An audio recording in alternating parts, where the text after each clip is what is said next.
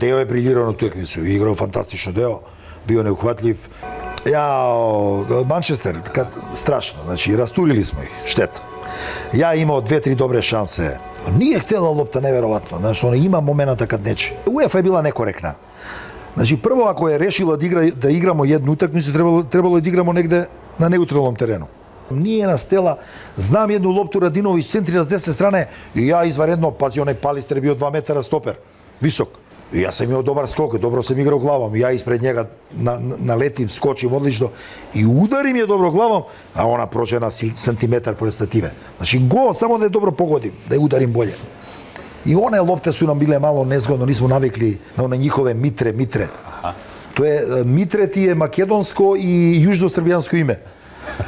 значи Митре био Кобан. Митре био Кобан. На Олд Трафорду. Да, и ние смо били на ту лопту навикли, nije htjela lopta nikako, strašno, strašno.